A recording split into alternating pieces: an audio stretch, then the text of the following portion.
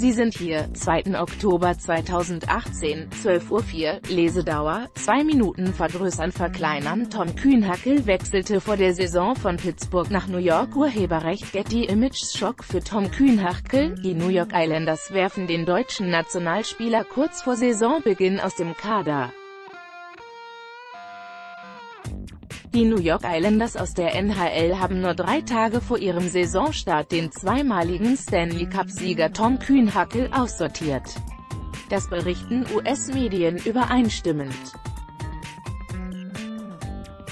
Der Stürmer wurde demnach auf die sogenannte Waiverliste gesetzt. Es ist heute die richtige Entscheidung für uns. Vielleicht sieht das in zwei Wochen anders aus. Dinge ändern sich, sagte Head Coach Barry Trotz dem Webportal The Athletic.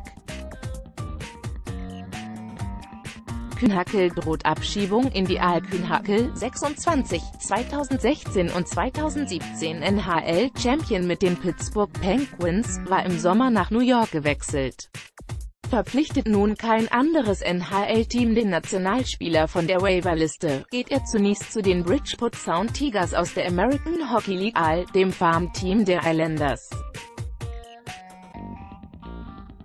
Wie es mit Dennis Seidenberg bei den Islanders weitergeht, ist nicht bekannt.